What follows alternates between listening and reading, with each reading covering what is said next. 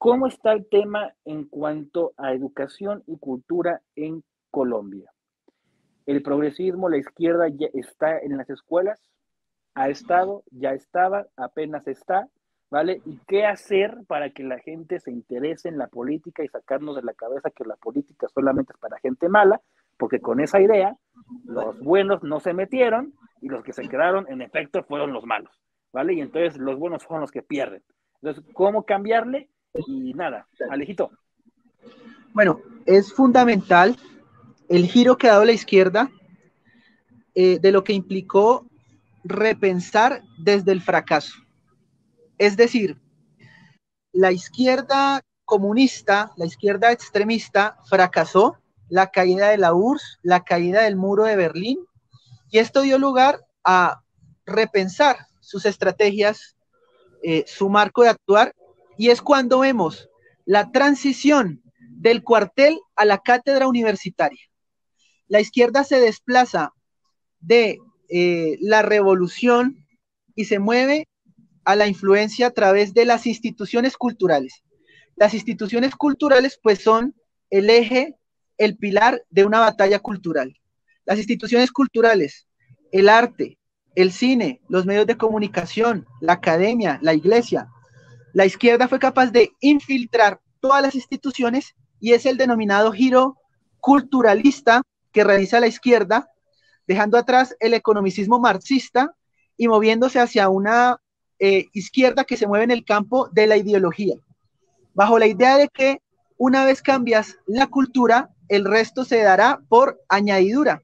Y hoy la izquierda está recogiendo lo que lleva 50 años sembrando. Su infiltración en las instituciones públicas y privadas es real. Hoy eh, la corriente dominante en Colombia es pensar desde la izquierda. Claro que eh, en Colombia hay una tendencia conservadora, una inclinación natural hacia el conservadurismo, pero la izquierda viene realizando un trabajo de subversión ideológica y eso lo vemos en un Petro que cada cuatro años se acerca más, de un millón, de cuatro millones, de ocho millones y hoy más cerca que nunca, a tal punto que yo diría que la llegada de Petro es una cuestión de tiempo, porque cada vez está más cerca y cada vez aumenta el número de, electores, porque este es un trabajo que lleva muchísimos, muchísimos años. La izquierda entendió la importancia de la batalla cultural, la importancia de las ideas, y por el contrario, la derecha se dedicó a la ideología de la calculadora, del PIB, del economicismo, y hoy la reflexión que trae la nueva derecha es la misma reflexión que le trajo la nueva izquierda a la vieja izquierda. La nueva izquierda le dijo a la vieja izquierda, no solo importa la economía, importa más la cultura, porque el ambiente cultural, donde esté la opinión pública, allí van a estar los políticos. Y si la opinión pública usted la mueve hacia la izquierda, los políticos están, van a estar en la izquierda porque ahí están los votos. De tal manera que los partidos que uno considera en Colombia de centro derecha o de derecha, cada vez se mueven más hacia la izquierda, porque los electores cada vez han sido movidos más hacia la izquierda, producto de esa eh, subversión cultural, producto de esa infiltración de la izquierda en todas las instituciones. Entonces, eh, finalmente, hoy la nueva derecha le dice a la vieja derecha, la gente no va y se mata por el PIB. Por más que la situación incluso pueda estar complicada, eso no te mueve. Sí te mueve, obviamente, la defensa de tu vida, de tu libertad, de tu propiedad, pero una nueva derecha eh, entiende la importancia de la cultura, del cine, de todas esas instituciones culturales que son el pilar de una batalla cultural. Y algo muy pequeño en relación a lo que decías, y creo, creo que Pedro lo comentaba, la desinformación. Esto es normal en las democracias porque los incentivos para votar informadamente son pocos. Te lo voy a explicar de una forma muy sencilla si estamos tú y yo participando en una elección, tu voto son los dos. Tu voto vale 50% y mi voto vale 50%. Si somos 10 personas votando, eh, tu voto vale 10%, eh, mi voto vale 10%. Si somos 100 personas votando, tu voto vale 1%. Si somos 1000 personas votando, tu voto vale 0,1%. Si somos 10.000 personas votando, tu voto vale 0,01%. Así sucesivamente. Conclusión, en Colombia pueden votar 37 millones. ¿Cuánto vale tu voto? Absolutamente nada. No quiere decir que el acumulado de votos no sea importante, lo es. Pero ¿qué quiere decir? A nivel del individuo, los incentivos para informarse son nulos, porque es más probable ser atropellado camino a los comicios que tu voto marque una diferencia, porque es más probable ganar el premio gordo de la lotería en Navidad a que tu voto haga la diferencia.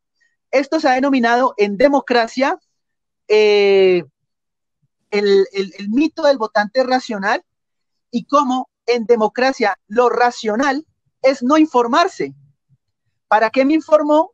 ¿Para qué me informo como ciudadano de 50 candidatos de ideologías políticas, de historia y de economía cuando mi voto no vale nada? Entonces, este es un defecto intrínseco a la democracia muy difícil, naturalmente, de solucionar. Y creo que esa es una de las principales razones por las cuales efectivamente eh, el, común de los colombianos pues dice no me gusta la política, no me gustan los políticos eh, y la importancia de un candidato que sea capaz de comunicar a pesar de todo esto. ¿Quién ha sido capaz de comunicar? Rodolfo Hernández, para bien o para mal. Me encuentro con taxistas, conductores, en fin, eh, personas en distintos lugares y dicen, no me gusta la política, pero voy por Rodolfo Hernández. Este es un político, lo he dicho, no ha dado claridad ideológica, dice que no es ni izquierda ni derecha, se presenta como un, un candidato antiestablecimiento que viene a enfrentar a la élite, a la corrupción, que ha sido alabado por Petro.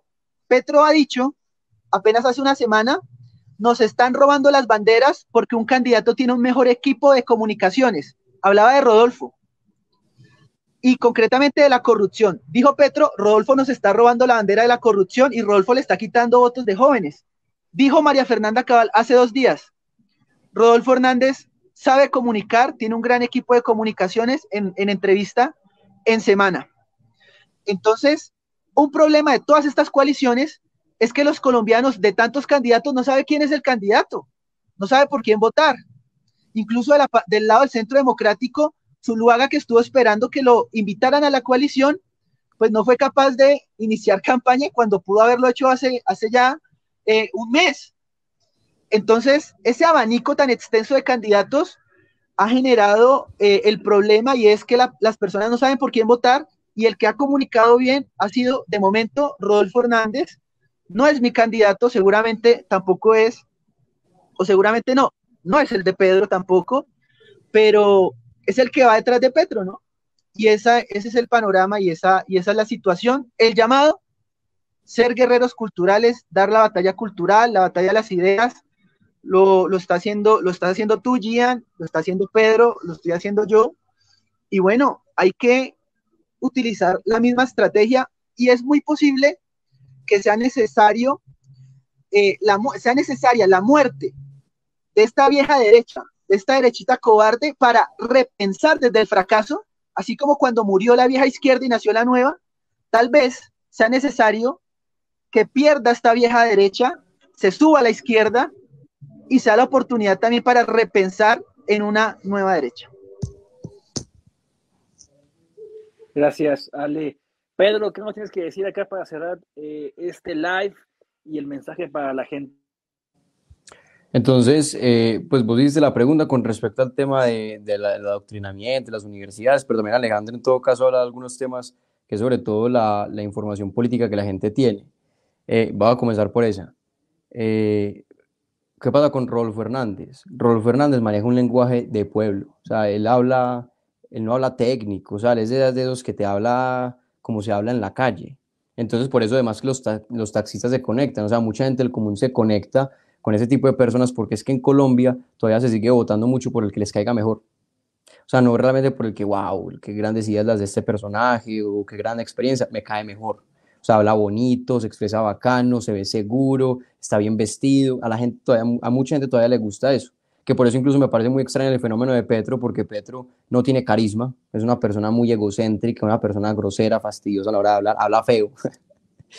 eh, Entonces no entiendo, digamos, por qué, por qué tiene ese éxito. Pero en Colombia todavía existe tanta, tal desinformación política que la gente vota por el que les caiga muchas veces mejor. Y es una realidad. Por eso es importante que se haga el proceso de educación, de enseñar a las personas. El problema es que ahí la izquierda tiene mucha ventaja. Eh, con el tema del adoctrinamiento, para que te hagas la idea, en Colombia hay una universidad pública que tiene una plaza que se llama Plaza Che. Tiene la cara del Che Guevara pintada en toda la plaza. No sé si todavía está, pero por lo menos estuvo durante mucho tiempo. Es una universidad de las más importantes. Eh, entonces uno queda como, o sea, si es una, una, de las universidades más importantes históricas del país, en donde salen miles de, de, egresados al año, y ese es el tipo, o sea, ese tipo de rostros se aceptan, pues, o sea, uno claramente ve hacia dónde va gran parte de la educación en, en Colombia. Y no es una, a veces la gente cree que es una, un tema que únicamente pasa en la educación pública, en la educación financiada por el Estado, pero también pasa en la educación privada. Eh, porque en la educación privada creo que pasa el fenómeno que pasa en los Estados Unidos y es que muchas veces tienes profesores bien pagos, no todos, pero hay unos que son muy bien pagos, muchos son miembros de, de familias ricas de Bogotá o de varias partes de Colombia, eh, que, les gusta mucho leer ideologías, teorías, entonces siempre han estado viviendo de, ser profesores y están en un lugar donde básicamente pueden decir lo que quieran y muchas veces no hay nadie que los, que los critique. Ese es el fenómeno que pasa en muchas universidades, repito, parecido al de, al de Estados Unidos. Pero en todo caso, acá, acá, acá uno se puede meter con temas muy serios, pero yo sé, de, yo hago labor social en mi barrio y trabajo con una señora que, que ya es, digamos, relativamente estratos bajos, o sea, estratos socioeconómicos bajos. Y ella me cuenta que ella pues tuvo, tuvo tiene muchos amigos de varias universidades públicas de Colombia. No voy a decir el nombre para, repito, no meterme en problemas, pero me dice que en las universidades públicas de Colombia literalmente vos tenés líderes estudiantiles, personas que organizan grupos y mueven mensajes y organizan marchas y cosas así, que literalmente son miembros del ELN, de las FARC, o que fueron miembros de diferentes grupos guerrilleros. O sea, gente que es absolutamente infiltrada en las universidades. Y eso es una cosa que, digamos, hay que ser muy inocente para creer que no es así. O sea, es una cosa que se sabe que, que, efectivamente ha sido así. Entonces, en el tema de la academia, hasta ahora la tenemos eh, muy perdida, porque, digamos, estamos arrancando eh, muy tarde. Entonces, yo lo que creo que se tiene que hacer es efectivamente continuar con un proceso de, de educación, eh, meterse en la mayor cantidad de cosas, pero una educación que sea limpia, porque es que la izquierda tiene ese juego de, de, usar eslóganes y palabras y poco contenido y, y, pocas explicaciones. Eh, nosotros tenemos que hacerlo distinto, o sea, nosotros tenemos que traer un mensaje que sea entendible, pero que sea de verdad cargado de, información, de datos, de hechos, que sea coherente. Eh, me parece que es importante, aunque, aunque sí quería agregar lo siguiente, y es, eh, Alejandro mencionó el tema de la cultura. Eh, y, yo creo que es cierto que la izquierda sobre todo se mete en el tema de, de, la cultura. En Colombia lo intentaron durante mucho tiempo por las armas y por lo menos militarmente hablando no han podido. Militarmente hablando no han podido. Entonces por eso tratan de meterse en otras partes. Pero en todo caso, o sea, la cultura me parece muy importante, sobre todo en las ciudades, porque es en las ciudades donde más se mueve el mensaje, el mensaje más progresista. El, ahora se está usando la expresión social bacanes, que son personas que que, son así como, se así como los, los cools, los super inclusivos, los super tolerantes, eh, que claramente se tiran pues hacia un lado progresista. Pero lo que quería agregar es que en gran parte del país y para muchos colombianos todavía, sigue siendo, todavía es una realidad, sigue siendo muy importante, tanto la parte económica como la parte en temas de seguridad. ¿Por qué lo digo? Porque es que en Colombia toda, tristemente todavía hay personas que se acuestan a dormir sin las tres comidas o que, o que se acuestan y en la noche escuchan disparos entonces todavía hay personas que tienen esa preocupación, entonces todavía hay muchas personas a la, que literalmente su voto se mueve con respecto a sus políticas van a ser comer tres veces al día, sus políticas van a ser poder caminar por la calle tranquilo y les importa solo eso. Entonces están las dos realidades. Hay que seguir hablando de economía y hay que seguir hablando de seguridad, pero también hay que meterse en otros aspectos de la cultura, porque están esas dos Colombias, esa Colombia eh, de, los pueblos, de las veredas, del monte, de las montañas, que, que, está preocupada por comer y por la seguridad, y en la ciudad, que también está presente el de comer y la seguridad, eh, sobre todo en los barrios más peligrosos, pero que en todo caso en las universidades, que es donde se supone que están los líderes del mañana, las personas que van a ser los empresarios, las personas que van a, que van a estar en la política, que van a ser periodistas, escritores, que van a estar en, eh, organizando películas y todo eso, ahí se mueve gran parte del progresismo. O sea, yo te lo puedo decir, en mi universidad yo, pues, sobre todo los primeros semestres que eran los presenciales, después pasamos a semestres virtuales, pues por el tema de la pandemia, pero los semestres presenciales yo era muy común que yo debatiera con profesores, porque es que, te lo digo, en toda la historia que yo en la universidad llevo seis semestres, y seis semestres significa eh, más de 30 clases, he visto más de 30 clases, más de 30 profesores distintos, y de todos esos solo recuerdo uno, por ejemplo, uno que fuera defensor del capitalismo, uno que incluso terminó conversando con él, o sea, yo le dije, hey, profe, tiene cara como que le gusta el capitalismo, ¿qué? De resto, todos muy críticos, muy dados a, hablar del tema de la desigualdad, eh, ese es un tema que todavía mueve muchos votos en Colombia, el tema de la desigualdad, o sea, en Argentina, por ejemplo, el tema del aborto mueve muchos votos, en Colombia mueve muchos más votos el tema de la desigualdad, eh, porque se nos metió en la cabeza que la desigualdad es intrínsecamente mal, o sea, que si alguien tiene más que el otro es porque claramente algo salió muy mal, entonces la desigualdad sigue muchos votos, eh, y eso está muy presente en las universidades, diría sobre todo en las universidades. Además que tenemos un sindicato de profesores acá que se llama FECODE, que, que tiene cero interés en educar a los estudiantes, que ya, o sea, que ellos son los que más se opusieron a que hubiera clases presenciales, pero en la misma época en la que se oponían a que hubiera clases presenciales, salían a marchar, a protestar por las cosas que les interesa políticamente hablando y, que se sabe pues que casi que tienen como un interés electoral o temas que van más relacionados con la política que con la educación. Y esa gente tiene mucho poder en la educación, o sea, la educación está secuestrada. Y por eso es importante pues que sigamos haciendo un trabajo dentro de redes y, y sí, eso, simplemente seguir, seguir, dándole de una forma elegante y bien hecha. Eh, ya como mensaje, como último mensaje es eso, o sea, lo primero es, al de izquierda no le da miedo hablar no le da miedo ir a gritar, no le da miedo ir a publicar sus cosas, no la guste tampoco. O porque es que ahí sí perdemos. Jordan Peterson tiene una frase espectacular, que es que si tienes miedo de hablar, ya perdiste. O sea, me encanta, si tienes miedo de hablar, ya perdiste. Entonces es importante que, que no tengamos miedo de hablar y hablar con las personas y dedicar el tiempo y, ser elegantes a, la hora, a la hora de hablar, porque es que la gente tampoco es boba. Acá en Colombia, ya con eso termino porque yo hablo mucho, me disculpan por eso. Yo me acuerdo cuando arrancó la pandemia, al expresidente Álvaro Uribe, a este señor, le pusieron una, desde la corte le pusieron una orden de, ¿cómo es? Una, palabras más, palabras menos, estaba quieto en la casa y no podía salir de ahí. Era, le estaban diciendo básicamente, usted en ¿Prisión domiciliaria? No, no es prisión domiciliaria, no me recuerdo, se me olvidó el nombre, de pronto Alejandro se acuerda. Creo que se llama medida de aseguramiento, si no estoy mal. Algo así. Es un concepto eh, jurídico. Entre las, entre las medidas de aseguramiento, pues Sí, seguramente es detención domiciliaria, pero pueden haber otras medidas de aseguramiento, ¿no? Intramural, ya en prisión, etcétera. O sea, él como tal, si no estoy mal, a él no le pusieron prisión domiciliaria, pero por algún tema le dijeron, usted se tiene que quedar quieto en la casa. Eh, y de alguna forma mucha gente lo sintió, ah, se lo metieron a la cárcel. O sea, lo que están haciendo es eh, meter a la cárcel o persiguiendo, lo que sea. Entonces yo me acuerdo que muchos de sus seguidores en esos días salieron a marchar a las calles eh, en apoyo a él. Em, y yo, o sea, los que me conocen saben que yo, yo, yo a Álvaro Uribe le he criticado, pues cuando ha sido necesario criticarlo. Eh, y, incluso tenía debates con algunos pues, de sus seguidores, pero cuando, cuando ocurrió esto, yo me acuerdo que yo le dije a mi papá, papá, me parece muy curioso que cuando salen los, los seguidores de, de este Álvaro Uribe, salen a donde, o sea, literalmente salían en caravanas de carros a donde, a banderas de Colombia y poner el himno de Colombia. Y particularmente acá en mi región, en Antioquia, ponían el himno de Antioquia también, porque él es, eh, Álvaro Uribe es antioqueño. Entonces ponían el himno de Antioquia, ponían donde las banderas de Colombia. Entonces yo decía, pa, mira esa gente cómo se comporta cuando, cuando, cuando les pasa algo. Son el, salieron de forma elegante, ondear banderas del país, mientras que cuando la izquierda se ha masificado, obviamente no todos los de izquierda son violentos, yo tengo amigos de izquierda, y lo digo acá, yo, yo tengo amigos de izquierda, es una realidad, no todos los de izquierda son violentos, pero cuando la izquierda se masifica, es muy... Traidor. cuando, cuando, cuando la izquierda se masifica, es muy común, muy común que haya violencia, muy común.